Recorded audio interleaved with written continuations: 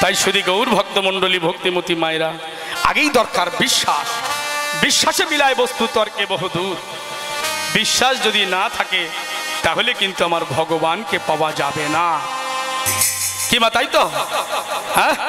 তাহলে আগে আমাদের সবার আগে আগে বিশ্বাসটা তৈরি করতে হবে যে নামের মধ্যে নামই আছে, ভগবানকে পাওয়া যায়। কিন্তু আমাদের বিশ্বাস আপনারা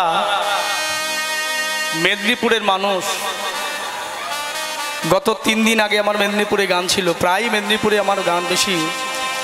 আমি দেখি যে মেদিনীপুরের যে ভক্ত, আমাদের দক্ষিণ চব্বিশ পরগনায় এমন ভক্ত নয় মেদিনীপুরের যে ভক্ত রয়েছে আহা এই এনাদের সম্মুখে কীর্তন করতে গেলে বড় আনন্দ লাগে। মেদিনীপুরটা অত সুন্দর ভক্তি মার্গের জায়গা গো অপূর্ব ভক্তি মার্গের জায়গা তাই শুধু গৌর ভক্তমণ্ডলী ভক্তিমতী মায়েরা আসুন সবাই মিলে সেই ভগবানের সেই মধুর নামামৃত রস আস্বাদন করি ওই তো আজ সুরধ্বনি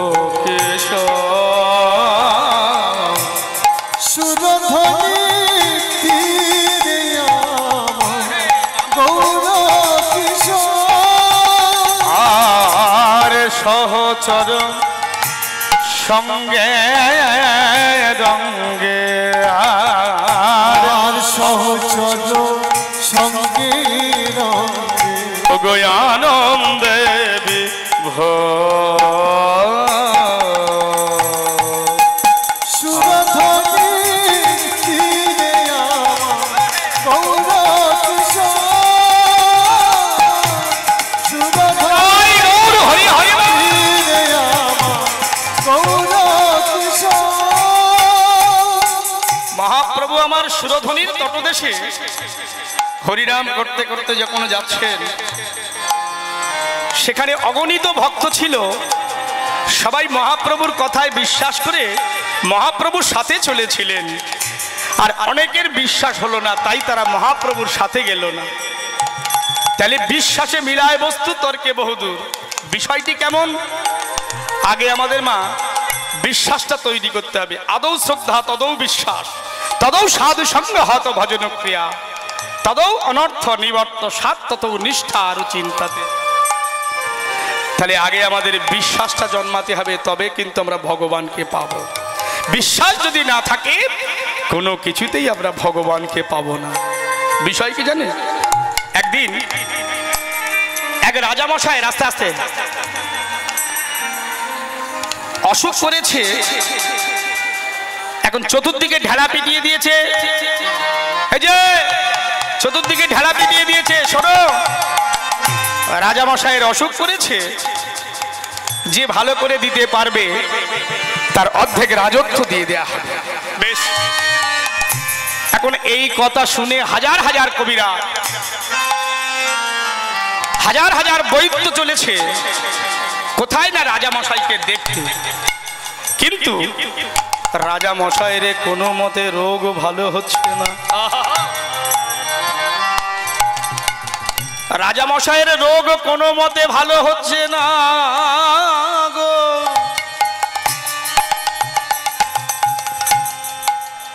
হাজার হাজার কবিরাজ, হাজার হাজার বৈদ্য দেখছে, কোনো মতে রোগ সারাতে পারছে না। একজন হেতুড়ে কবিরাজ, ভালো কবিরাজ নয়।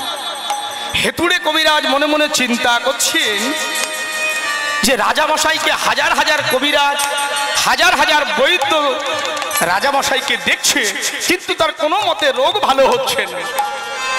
বিষয়টি কি? একটু দেখতে হবে। সেই কবিরাজ, ভালো কবিরাজ নয়, গিয়ে দেখল যে রাজামশাইয়ের বিশ্বাস নাই। বিশ্বাস নাই, তাই তার রোগ ভালো হচ্ছে না। নিতাই গৌর হরিব হরিব এখন ওই কবিরাজ রাত্রিবেলায় গিয়ে দাঁড়িয়েছেন। রাজামশাই ও রাজামশাই কে? আমি কবিরাজ। কবিরাজ? কি ব্যাপার? বলল রাজামশাই আমি আপনার নারী নির্ণয় করব। বলল, বেশ, দেখো, তোমার আগে হাজার হাজার কবিরাজ এসেছে, তারা পারেনি। দেখো। কবিরাজ বলে বললেন এখন নয় আগামী কাল আমি প্রভাতে আসব। এসে আপনার নারী নির্ণয় করব। বেশ বেশ বেশ। সকাল হয়ে গেছে। এখন সূর্য ওঠার আগেই ওই কবিরাজ রাজামশাইয়ের গৃহে চলে এসেছেন। ডাক দিয়েছেন, রাজামশাই! কে? আমি কবিরাজ। আসুন। রাজামশাইয়ের নারী ধরে বসে আছে ওই কবিরাজ।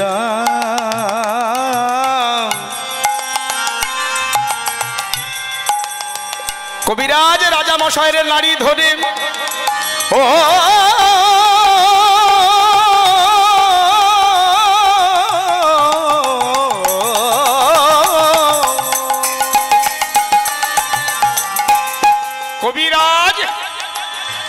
মশাইয়ের নারী ধরে বসে যে রইল রাজার মনেতে বাসনা জাগিল।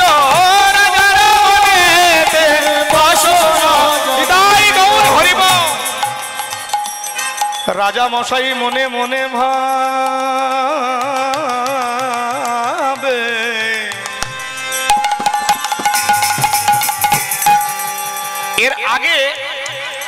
হাজার হাজারে কবিরাজ এসেছে। তারা তো এতক্ষণ নারী দেখেনি। এখন ওই যে কবিরাজ, ভালো কবিরাজ নয় তো? আস্তে, হেতুড়ে কবিরাজ। এখন রাজামশাইয়ের নারী ধরে প্রায় দু ঘণ্টা পার হয়ে যাচ্ছে। রাজামশাই মনে মনে ভাবে, এ ব্যাটা মনে হয় পাকা কবিরান পাকা কবিরান এ পাকা কবিরান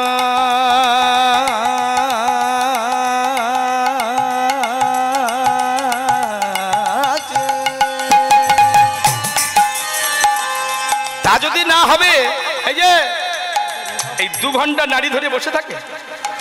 হ্যাঁ কবিরাজ তো কিছুই জানে না নারী সম্পর্কে, তার কোনো কাণ্ডজ্ঞান নাই। শুধু রাজামশাইয়ের বিশ্বাসটা আনার জন্য এমন লীলা। এখন দু ঘণ্টা পরে ওই কবিরাজ বলে উঠেছেন, রাজামশাই, বলো, রাজামশাই, আপনার নারী ধরে যা দেখলাম আপনার যা ব্যাধি হয়েছে। এই ভারতবর্ষের ঔষধে তা কাজ হবে না। ভারতবর্ষের ঔষধে কাজ হবে না। কোথায় যেতে হবে? বলল, জাপান, জার্মান, থাইল্যান্ড থেকে ঔষধ আনতে হবে। তবে আপনার রোগ ভালো হবে। কবিরাজে জানে রাজা মশাইরে যদি বলি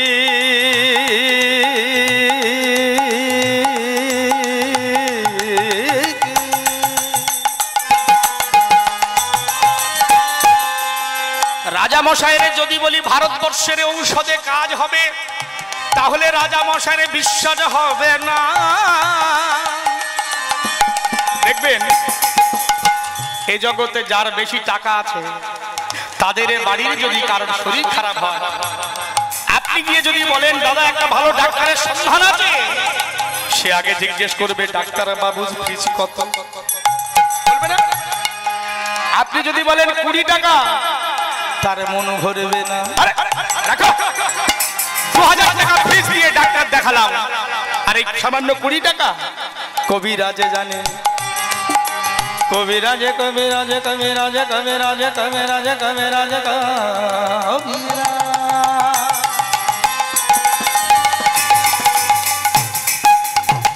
কবিরাজ জানে রাজা মশাই।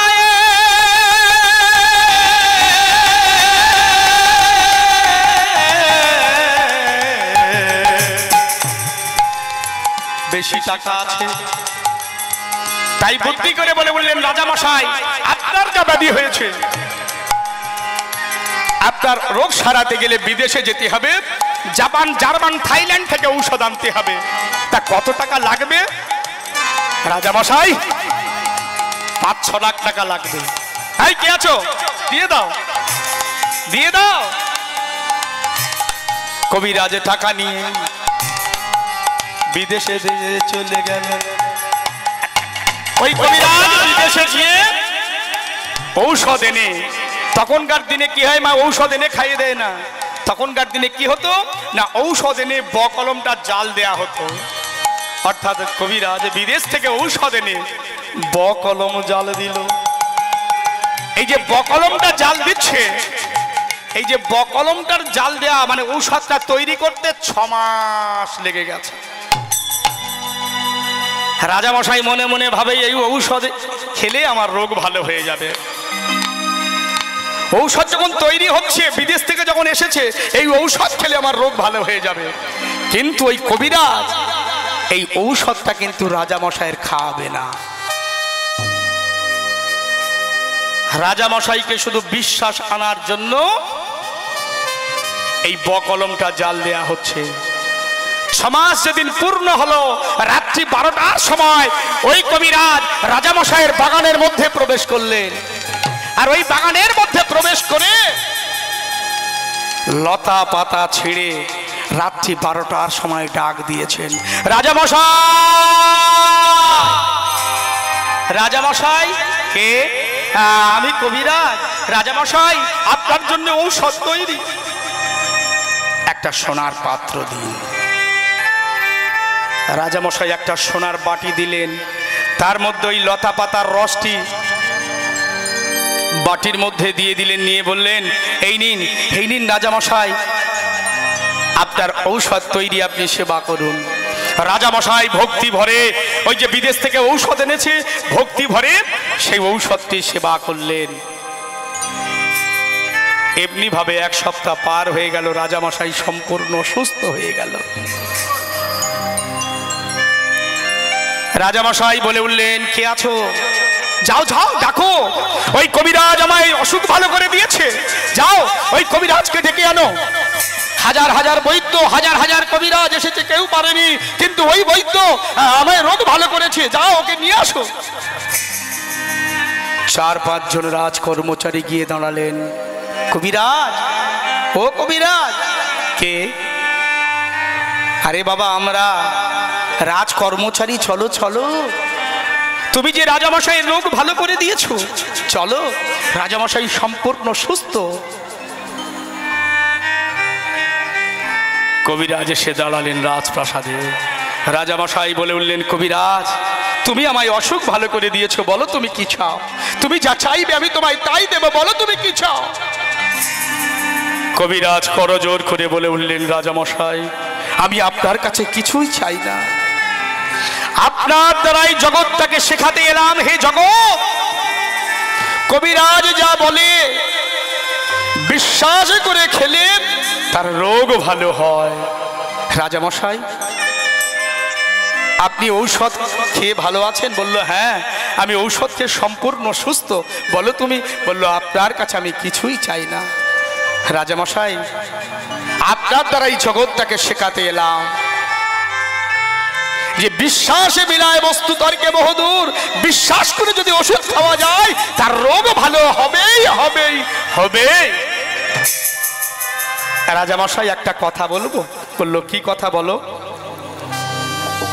রাজামশাই, আপনি যে অর্থ দিয়েছেন, সেই অর্থ নিয়ে বিদেশ থেকে যে ঔষধ এনেছি, সেই ঔষধ কিন্তু আপনার খাওয়াইনি। তবে তুমি কি খাইয়েছ? বলো তুমি কি খাইয়েছো? রাজামশাই আপনার বাগানের লতা পাতার রস করে আপনাকে খাইয়েছি। আগে বলনি কেন? কবিরাজ বলে উঠলেন রাজামশাই আগে যদি বলতাম তাহলে তো আপনার বিশ্বাস হতো না। হ্যাঁ? বিশ্বাস হতো? মহাজন তত্ত্ব দিলেন এই রাজাটি কে?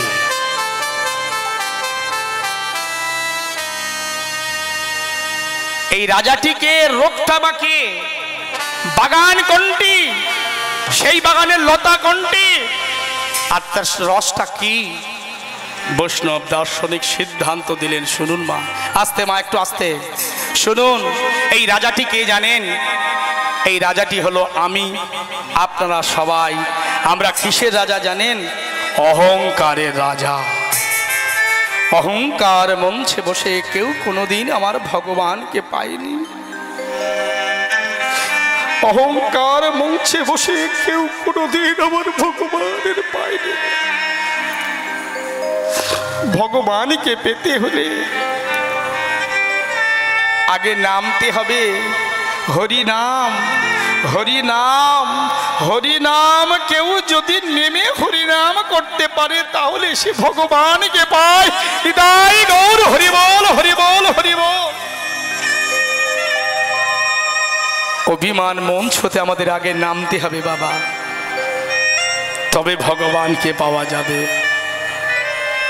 তাই আপনারা বুঝতে পারলেন এই রাজাটা হলো অহংকার। রোগটা কি?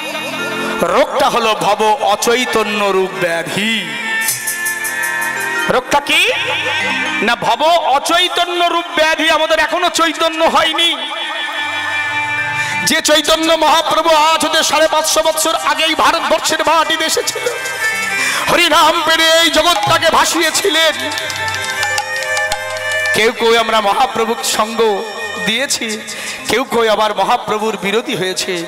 আজকের আপনারা যারা এসেছেন, এখানে ব্রতী হয়েছেন, সবাই কিন্তু মহাপ্রভুর হাতে হাত মিলিয়েছেন। অর্থাৎ মহাপ্রভুর সংগঠনে আপনারা সবাই যুক্ত হয়েছেন। একবার সবাই মিলে আমরা হরিধ্বনি দেব, নিতাই গৌর প্রেমানন্দে। হরি হরি বল হরি বল। হলো কি? ও মায়েরা, হলো কি? হয়নি। এত ভক্ত আমরা একত্রিত হয়েছে।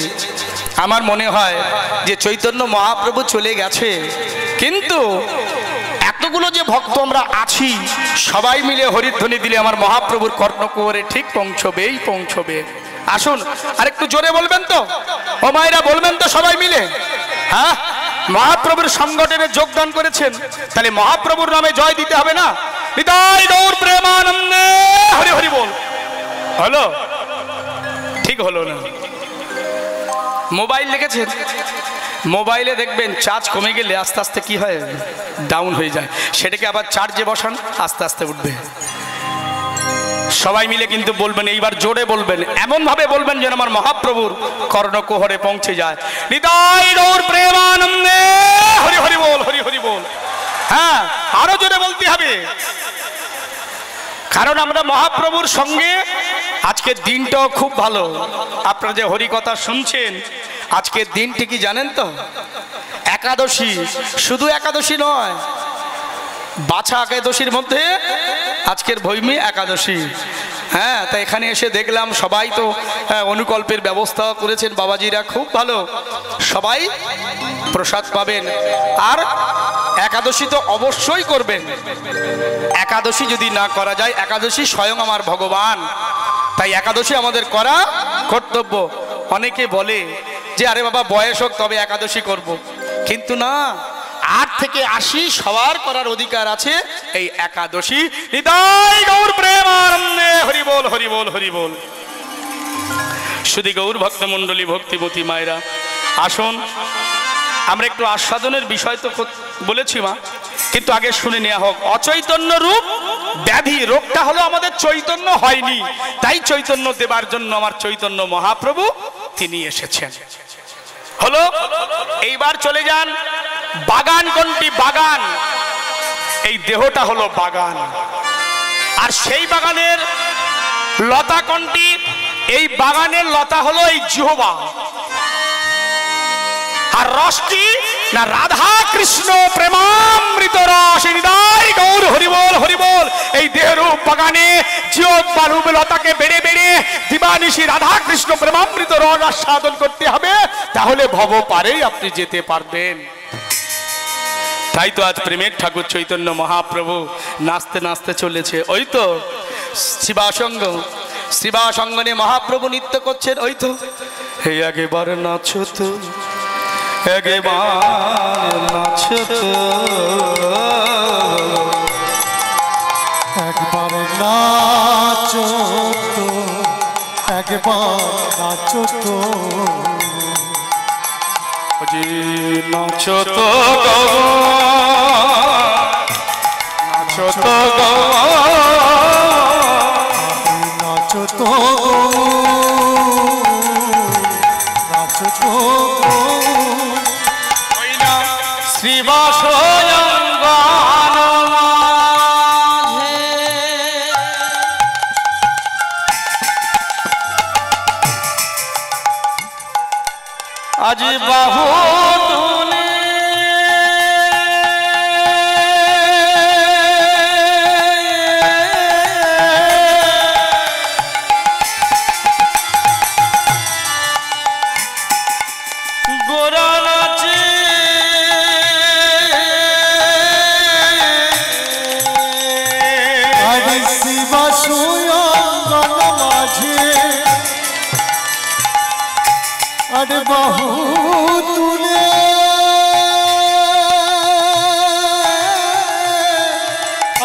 গোনা নাচে ওই না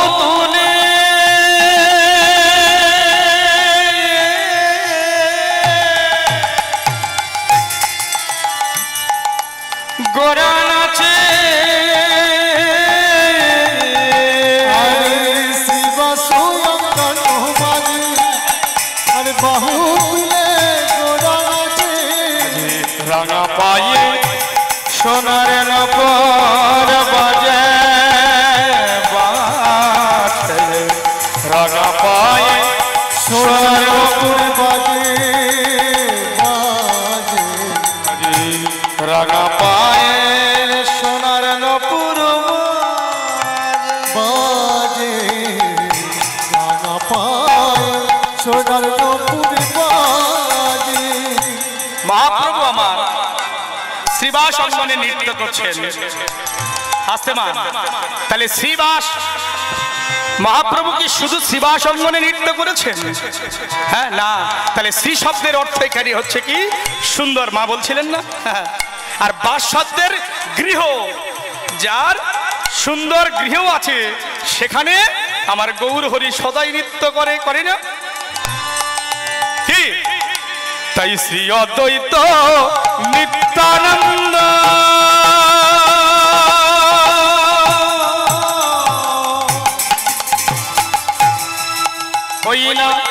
শ্রীবাজে দাদা।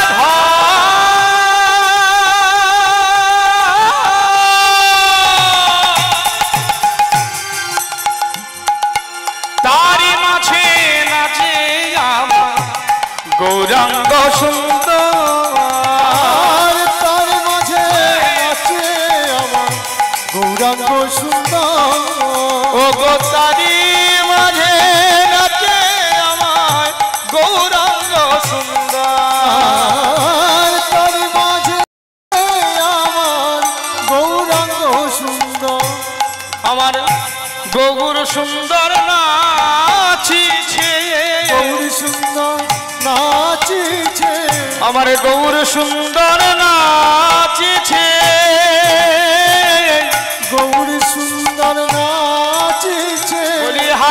কৃষ্ণ হা কৃষ্ণ বলে গৌরী সুন্দর নাচিছে। হা কৃষ্ণ হা কৃষ্ণ বলে গৌরী সুন্দর নাচিছে। কেবল হরি হরি হরি বলে। গৌরী সুন্দর নাচিছে। ওই না ভেসে দুটি নয়ন জলে সুন্দর নাচিছে। কেবল হরি হরি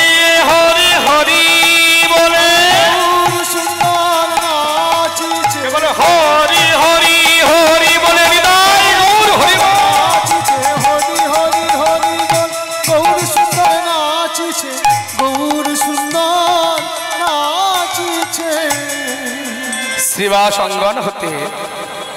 মহাপ্রভু আমায় হরিনাম করতে করতে সুরধ্বনির তটদেশে এসে দাঁড়ালেন। হরে কৃষ্ণ, মায়ের একটু শুনবেন। মহাপ্রভু আমার হরিনাম করতে করতে অগণিত ভক্ত শনে সুরধ্বনির তটদেশে এসে দাঁড়ালেন। আর সুরধ্বনির তটদেশে দাঁড়িয়ে আজ দুহাত বাড়িয়ে হঠাৎ দুহাত যেরম ভাবে তুলি, কলিহত জীবকে ডাকছেন হে কলিহত জীব, তোমরা একবার কৃষ্ণ বলো, তোমরা একবার গৌর বলো, একবার তোমরা কৃষ্ণ বলো। তা শুধু গৌর ভক্তমণ্ডলী, ভক্তিমতী মায়েরা, এই যে দুহাত তুলে, আপনারা এক্ষুনি করলেন না? হৃদয় গৌর হরিবল, আপনারা দুহাত তুলছেন। তা আজকের মহাপ্রভু দুহাত তুলে দাঁড়িয়ে রয়েছে দেখবেন বহু ক্যালেন্ডার ছবিতে দেখা যায়, মহাপ্রভু দুটো হাত তুলে দাঁড়িয়ে আছেন। সুরধরির তটদেশে কেন? কিসের জন্য দাঁড়িয়ে আছেন মহাপ্রভু? ভক্তের জন্য মহাপ্রভু আজ দুহাত তুলে দাঁড়িয়েছেন। তাহলে সে ভক্তটি কে? যার জন্য মহাপ্রভু আজ সুরধ্বনির তটদেশে দাঁড়িয়ে কলিহত জীবকে উদ্ধার করবে বলে। আজকের সুরধ্বনির তীরে দাঁড়িয়ে ডাকছেন। ওগো, তোমরা একবার কৃষ্ণ বলো, তোমরা একবার গৌর বলো, যে জন কৃষ্ণ বলবে, যে জন গৌর বলবে, আমি যে তার প্রাণ হয়ে যাই। প্রেমের ঠাকুর চৈতন্য মহাপ্রভুর সুরধ্বনির তটদেশে দুহাত তুলে দাঁড়িয়েছেন। কেন দাঁড়িয়েছেন? ভক্তের কাছে কথা দিয়েছিল। ভক্তের কাছেতে ভগবান সদা বাধা, তাই রে মা? ভক্ত আমার মাতা পিতা ভক্ত জামায় গুরু, ভক্ত আমায় নাম রেখেছে বাঞ্ছা কল্পতরু। ভক্ত জামায় জীবন যৌবন, ভক্ত আমার প্রাণ, ভগতের হৃদয় আমার সতত বিশ্রাম। শুধু গৌর ভক্তমণ্ডলী ভক্তিমতী মায়েরা, আমরা এ জগতে এসেছি এই জগতে সংসারকে সুখী করতে আমরা কত কষ্ট করি, কত মেহনত করি। করি না মা? সকাল থেকে সারা রাত কত কষ্ট, কত মেহনত করি কেন? না, সংসারকে সুখে রাখার জন্য। বলুন তো, সংসার যে সংসারে সুখ খুঁজবে, খুঁজে বেড়ানো আমরা কর্তব্য, আমরা খুঁজে বেড়াচ্ছি। কিন্তু বলুন তো, ওই সংসারের মধ্যে কোথায় সুখ আছে? যে সুখের জন্য আমরা দিন রাত মেহনত করছি। সংসারে সুখ নিমিত্ত মাত্র। সংসার কোনোদিন সুখ দিতে পারে না। একমাত্র সুখময় ভগবান কৃষ্ণকে যদি ভজন করা না যায়, তাহলে সুখ পাওয়া যাবে না। হৃদয় গৌর হরিবল হরিবল। সারা দিন রাত আমরা অর্থের পিছনে ঘুরছি। অর্থের পিছনে ঘুরছি কেন না সংসারটাকে সুখে রাখবার জন্য। দিন রাত ঘুরে বেড়াচ্ছি। কিন্তু আপনারা সবাই জানেন, আলেকজান্ডারের নাম শুনেছেন? আলেকজান্ডার? হরিবল হরিবল এই আলেকজান্ডার ছিলেন সারা পৃথিবীর অধিপতি। আর এই আলেকজান্ডার যুদ্ধ করে যখন জলপথে ফিরছিলেন নিজ গৃহে, তখন তো সড়ক পথ ছিল না, জলপথে যেতে হতো। এখন জলপথে যেতে যেতে ওই আলেকজান্ডারের ডায়রিয়া হয়। শরীর অত্যন্ত খারাপ হয়। রাজবৈদ্য দেখছে, দেখে বলে উঠলেন, আলেকজান্ডারকে, মহারাজ, আপনার যে শরীরের কন্ডিশন আপনার পরমায়ু মাত্র দুদিন। সেই আলেকজান্ডার চিৎকার করে উঠলেন, হে কবিরাজ, হে রাজবৈদ্য যে কোনো উপায়ে তুমি আমায় একটি মাস বাঁচিয়ে রাখো। যে কোনো উপায়ে তুমি আমায় একটি মাস বাঁচিয়ে রেখো। আমি আমার দেশে গিয়ে যেন আমি আমার মৃত্যু হয় আমি যেন চলে যেতে পারি। কিন্তু রাজবৈদ্য বলে উঠলেন, মহারাজ, আপনার যা শরীরের কন্ডিশন দুদিনের বেশি তিন দিন আপনার বাঁচানো যাবে না। আলেকজান্ডার চিৎকার করে বলে উঠলেন, রাজবৈদ্য! আমাকে দুদিনের বেশি তিন দিন যখন বাঁচানো যাবে না, তবে আমার একটা কথা তুমি শুনে রেখো। ওগো রাজ বৈদ্য আমি যখন মারা যাব, হয় তোমরা আমায় কবর দেবে, নয় সমাধি দেবে। বলল হ্যাঁ।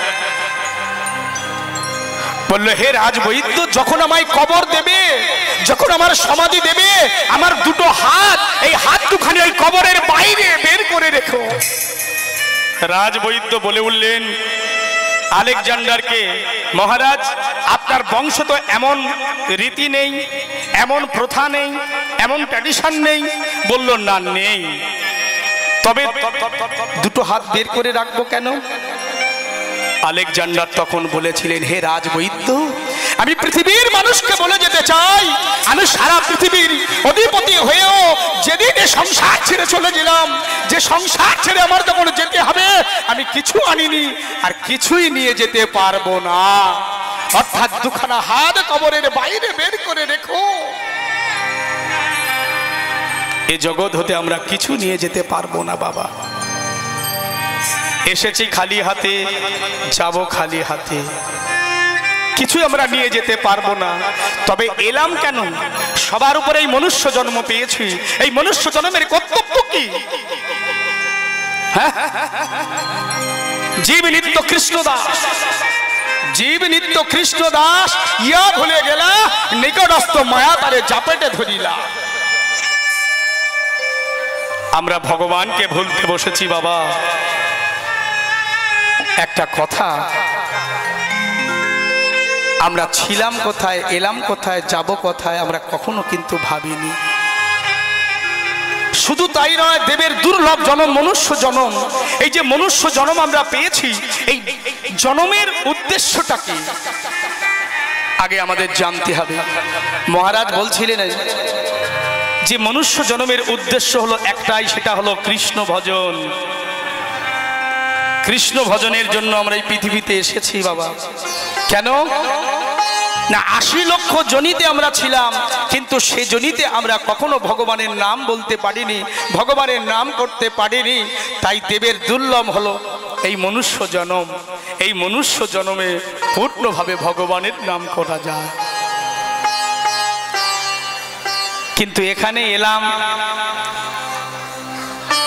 এখানে আসার কর্তব্যটা কি? আমাদের কি করতে হবে? এই যে মনুষ্য জন্ম পেয়েছি দুর্লভ জনম। হ্যাঁ? একটা যাত্রা উঠেছিল। আকারে সব মানুষ হলেও সব মানুষ মানুষ বলার অর্থটা কি? আগে জানতে হবে মানুষ কাকে বলে। মান? হুঁশ। আগে মান। গুরুজনকে আগে মানতে হবে, ভগবানকে মানতে হবে। যে গুরুজনকে মানে না, সে তো কখনো ভগবানকে মানতে পারবে না। যে পিতা মাতাকে মানে না, সে কখনো ভগবানকে মানতে পারবে না। ভগবানকে মানতে গেলে আগে গুরুজনকে মানতে হবে, সম্মান দিতে হবে। এ জগতে এলাম, আর গেলাম হবে না বাবা। বিষয়টি কেমন জানেন? একটা দেশ ছিল, সেই দেশটা হলো সমুদ্রের পাড়ে। এখন সেই দেশের নিয়ম ছিল, প্রজাদের মধ্যে এক বছরের জন্য এক এক করে রাজা করা হতো। ভালো করে শুনবেন না প্রজাদের মধ্য থেকে এক এক করে তুলে নেওয়া হতো আর তাকে এক বছর রাজা করা হতো। এখন রাজা করার পর সমুদ্রের মাঝখানে একটা দ্বীপ ছিল, সেই দ্বীপে ছেড়ে দেয়া হতো। এখন সেই দ্বীপে কোনো খাওয়ার ব্যবস্থা ছিল না, কোনো পানীয় জলের ব্যবস্থা ছিল, কোনো যান যানবাহনের কোনো ব্যবস্থা ছিল না। অর্থাৎ এক বছর পরে যখন ওই রাজ সিংহাসন থেকে নিয়ে যখন ওই সমুদ্রের মাঝখানে দ্বীপে ছেড়ে দেওয়া হতো, সেখানে অনাহারে, অনিদ্রায় সে মারা যেত। এখন সেই রাজত্বে এক সাধু বাস করত। এক বছরের জন্য সেই সাধুকেও রাজা করা হলো। এখন সাধুর সঙ্গে সাধারণ মানুষের একটু তফাৎ। সাধারণ মানুষ যারা ছিল, তারা যখন রাজা হয়েছে, তখন তারা ভোগ করছিল। আর সাধু? সাধুর তো ভোগ বিলাসের কোনো বাসনা নাই। সাধু কি করলেন জানেন? এক বছর ধরে সমুদ্রের ওপারে মাঝখানে যে দ্বীপটা ছিল, সেই দ্বীপটাকে সাজাতে লাগল। সেই দ্বীপটাকে সাজাতে লাগল। যাতায়াতের ব্যবস্থা করলেন, পানীয় জলের ব্যবস্থা করলেন, সুন্দর করে একটি বাড়ি নির্মাণ করলেন, চাষবাসের উপযোগী করলেন। এখন এক বছর এমনি ভাবে যখন পূর্ণ হলো, এক বছর পরে ওই সাধুকে নিয়ে যখন ওই দ্বীপের মাঝখানে, ওই দ্বীপে যখন ছেড়ে দিল, এখানকার থেকে ওখানে আরও আনন্দে মাস করতে লাগল। নিদাই গৌর, হরিবল হরিবল। বলার অর্থটা হলো, এখানে আমরা যে এত কষ্ট করছি, এত পরিশ্রম করছি, সংসারকে সুখে রাখবার জন্য অর্থ উপার্জন করছি, কিন্তু বাবা ভেবে রেখো, এখানকার একটা ফুটো করি একটা কানা করিও সেখানে চলবে না। যেদিন আমাদের বিদায় ঘণ্টা বাঁচবে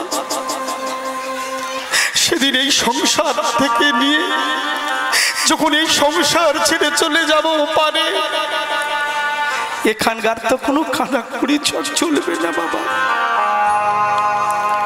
কিন্তু সেখানে সেই রাজত্বে গিয়ে আপনারা কি করবেন? আমরা কি করব? হ্যাঁ? সেখানে ভালো থাকতে হলে, সেখানে ভালোভাবে জীবন কাটাতে হলে, সেখানে ভালোবাস বসবাস করতে হলে আমাদের এখন থেকে কি করতে হবে? সদ্গুরু চরণ আশ্রিত হয়ে ভজন সাধনের পথে এগোতে হবে। ভজন সাধনের পথে না এগোলে সেখানে অনাহারে মরতে হবে। বিদায় গৌর হরিবল হরিবল শুধু গৌর ভক্ত মণ্ডলী, ভক্তিমতী মায়েরা, যে সংসারে ভগবান নাই সে সংসার সংসার নয়। হ্যাঁ? শুধু গৌর ভক্ত মণ্ডলী, ভক্তিমতী মায়েরা, তাই আজ সুরধ্বনির তটদেশে মহাপ্রভু আমায় দুটো হাত তুলে দাঁড়িয়েছেন। এই কলিহত জীবকে উদ্ধার করবে বলে, এই কলিহত জীবকে তার বক্ষে টেনে নেবে বলে আজ দুখানা হাত বাড়িয়েছেন। কেন? ভক্তের কাছে কথা দিয়েছিলেন। সে ভক্তটিকে একটু আমাদের আস্বাদন করতে হবে মা। সে ভক্তটি আর কেহ নয়। ভক্তটি হলো ত্রেতা যুগে মাধব। যে মাধব নৌকা পারাপার করত। আপনারা জানেন, ত্রেতা যুগের ভগবান হলো প্রভু রামচন্দ্র। সেই রামচন্দ্র যখন মিথিলায় যাচ্ছিলেন, জনক রাজার গৃহে ধনুভঙ্গ করতে। সঙ্গে ছিল গুরুদেব বিশ্বামিত্র, আর ছিল ভাই লক্ষণ চলেছে। প্রভু রামচন্দ্র চলেছে সবার আগে চলেছেন গুরুদেব বিশ্বামিত্র। গুরুদেব বিশ্বামিত্র যখন এই মিথিলায় যাচ্ছিলেন, মিথিলায় যেতে গেলে একটা জঙ্গল পড়ে, তারপরে একটা নদী পড়ে। সেই নদীটা পার হয়ে যেতে হয় মিথিলা। এখন যেতে যেতে সন্ধ্যা হয়ে গেছে। সন্মুখে জঙ্গল, গুরুদেব বিশ্বামিত্র কি করলেন? একটা গাছের তলায় বসে পড়লেন। বসে বলে উঠলেন, রাম, বলো, গুরুদেব। রাম, সন্মুখে গভীর জঙ্গল। আর এই জঙ্গলের মধ্যে কত হিংস্র জন্তু রয়েছে, কত পশু রয়েছে। আমাদের মেরে ফেলতে পারে, আমাদের খেয়ে ফেলতে পারে। অতএব এই রাতটুকু এই গাছের তলায় আমরা বিশ্রাম নেব। প্রভু রামচন্দ্র বলে উঠলেন, গুরুদেব, তাই হবে। এখন গুরুদেব বসেছে, প্রভু রামচন্দ্র গিয়ে গুরুদেবের চরণ সেবা করছেন। দেখুন, বিশ্বামিত্র গাছের তলায় বসেছে। আর প্রভু রামচন্দ্র গুরুদেবের চরণ তলায় বসে বিশ্বামিত্রের চরণ সেবা করছে আর জগৎ তাকে জানাচ্ছে, হে জগৎ, আমি নিজে ভগবান হয়ে গুরু চরণ সেবা করলাম। তোমরা তেমনি গুরু চরণ সেবা করো। গুরু ছাড়া গোবিন্দকে পাওয়া যায় না। গু শব্দের অন্ধকার, রু শব্দের আলো যিনি অন্ধকার থেকে আলো আনেন, সেই তো গুরু। আগে গুরু চরণ সেবা করো, তাহলে তো ভগবানকে পাওয়া যাবে। এমনি ভাবে সেবা করতে করতে সকাল হয়ে গেছে। এমন সময় গুরুদেব বলে উঠলেন, রাম, গুরুদেব, এবার চলো, সকাল হয়ে গেছে। এইবার চলেছে। অগ্রে চলেছে গুরুদেব বিশ্বামিত্র তারপরে চলে যা। প্রভু রামচন্দ্র, তারপরে চলেছে ভাই লক্ষণ। এমনি ভাবে যেতে যেতে অদূরে দেখতে পেল একটা মেয়ে মাথায় ঘোমটা দেওয়া। প্রভু রামচন্দ্র জিজ্ঞেস করলেন, গুরুদেব, এই মেয়েটিকে কাছে গিয়ে দেখছ ওটা মেয়ে নয়, একটা পাথর মেয়ে ছেলে হয়ে আছে। প্রভু রামচন্দ্র বলে উঠলেন, গুরুদেব, এটি কে যে পাথর হয়ে আছে? গুরুদেব বিশ্বামিত্র বলে উঠলেন, ওটা হলো মা অহল্যা পাশানি হলো কেন? গৌতম মুনির অভিসম্পদে পাশানি হয়েছে। উদ্ধার পাবে কবে? বলল, রাম, যেদিন তোমায় চরণ পাবে, সেদিন উদ্ধার পাবে। হৃদয় গৌর এক কাজ করো, তোমায় চরণটা তুমি একটু ঠেকায় দাও। রামচন্দ্র বলে বললেন, গুরুদেব, আমি পারব না। কেন পারবে না? মা অহল্যা হলো গুরু পত্নী, শুধু তাই নয়, উনি হলেন ব্রাহ্মণ কন্যা। আর আমি যদি আমার পদস্পর্শ করি, আমার যে মহা পাপ হবে আমি আমি চরণ ঠেকাবো না। কিন্তু বিশ্বামিত্র জানি, ছলে বলে কলে কৌশলে যদি রামের চরণটা না ঠেকাতে পারি, তাহলে যে মা অহল্যা উদ্ধার পাবে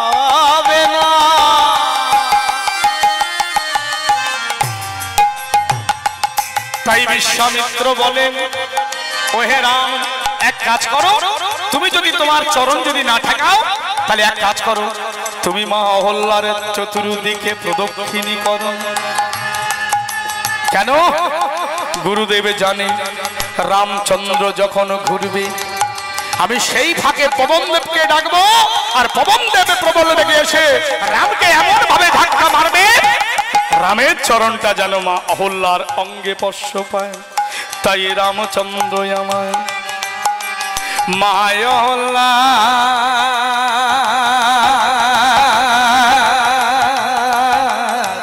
চতুর্দিকে ঘোরে।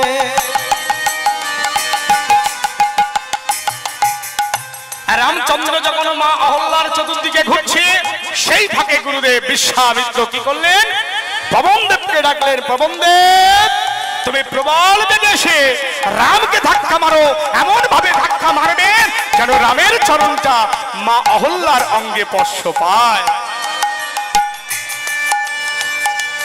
কি করলেন? ডাকার সঙ্গে সঙ্গে প্রবন্ধেব কি করলেন? প্রবল বেগে আসলেন, আর প্রবল বেগে এসে রামকে এমন ভাবে ধাক্কা মারলো, আর এমন ভাবে যেই না ধাক্কা মারলো, রামের চরণটা মা অহল্যার অঙ্গে বর্ষ পেল। এখন যেই না বর্ষ পেয়েছে, মা অহল্যা মানবী হয়ে গেছে। আস্তে আস্তে মা। মা অহল্যা মানবী হয়ে গেছে। যখনই মানবী হয়ে গেছে, রামের চরণখানা জড়িয়ে ধরেছে, হে প্রভু রামচন্দ্র, তুমি আমায় কৃপা করে দর্শন দিলে, তুমি আমায় কৃপা করে দর্শন দিলে। রামের চরণটা বক্ষ মাঝে চড়িয়ে ধরেছেন। প্রভু রামচন্দ্র বলে বললেন অহল্লাকে মা তুমি আমার কাছে বর চাও। বলো, তুমি যা চাইবে আমি তোমায় তাই দেব। মা অহল্লা বলে উঠলেন, হে প্রভু, রামচন্দ্র, যে অভিসম্পদে আমি পাশানি হয়েছিলাম, সেই অভিসম্পদ যেন আমার যুগে যুগে হয়। রামচন্দ্র বলে উঠলেন, কেন? আমি তোমায় বলেছি, তুমি আমার কাছে বর চাও। এ তুমি কি চাইছো? অভিশাপ চাইছো? করজোর করে মা অহল্যা বলে উঠলেন। হে প্রভু রামচন্দ্র, কত যোগী, কত মুনি, কত ঋষি, কত গন্ধর্ব, কত কিন্নর, কত সাধক, সাধিকা, কোটি কোটি জনম ভজন সাধন করে যে চরণ লাভ করতে পারে না, অভিসম্পদে আমি সেই চরণ পেলাম। হরিবল হরিবল। মা অহল্যাকে উদ্ধার করে তিনজনে গিয়ে দাঁড়ালেন কোথায়? ওই যমুনার তীরে। গুরুদেব ডাক দিয়েছেন মাধবকে। বিশ্বামিত্র ডাক দিয়েছেন মাধব!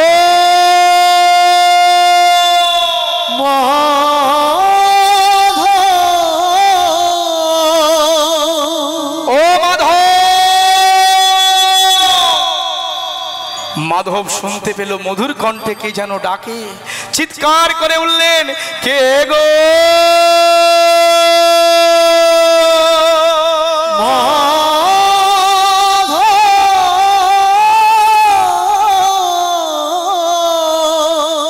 মাধব। নৌকাখানা নিয়ে তীরে আসলেন। কে গো? শুধু গৌর ভক্তমণ্ডলী ভক্তিমতী মায়েরা। এই যে রাজা দশরথের পুত্র রাম সেই রামের চরণ স্পর্শে পাথর মেয়ে ছেলে হয়ে গেছে, তাই না? এটা কিন্তু চতুর্দিকে প্রচার হয়ে গেছে। যে রাজা দশরথের পুত্র রাম, সেই রামের চরণ স্পর্শে যত পাথর মেয়ে ছেলে হয়ে যাচ্ছে, মাধবের স্ত্রী মাধবকে ডেকে বলছে হ্যাঁ গো, শোনো। বলে, কি? বলে, তুমি তো নৌকা পারাপার করো। বলল হ্যাঁ। বলে, একটু জেনে শুনে পারাপার করবে। বলল, কেন? আরে বাবা, শোনো নাই। রাজা দশরথের পুত্র রাম সেই রামের চরণ স্পর্শে যত পাথর মেয়ে ছেলে হয়ে যাচ্ছে। আর ওই চরণ যদি নৌকায় পড়ে,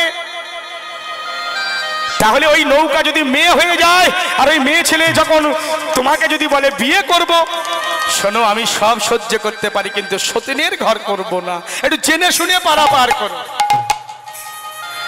আজকের মাধব তাই এসে দাঁড়িয়েছে। বিশ্বামিত্র বলে বললেন মাধব, আমরা একটু মিথিলায় জনক রাজার গৃহেতে যাব ধনুভঙ্গ করতে। অর্থাৎ তুমি একটু পারাপার করে দাও। মাধব বলে উঠলেন, গুরুদেব, আমি তো তোমায় পারাপার করব, কিন্তু তোমার ওই পাশে দুজন কারা? বলে, এটা এটা হলো ভাই লক্ষণ। লক্ষণ, আর এটা এটা হলো রাম। যেই না শুনলো, চিৎকার করে উঠলেন, মাধব, গুরুদেব, আমি তোমায় পার করাবো, লক্ষণকে পার করাবো, কিন্তু আমি রামকে পার করাবো না। কেন? কেন? রামকে পার করাবে না কেন?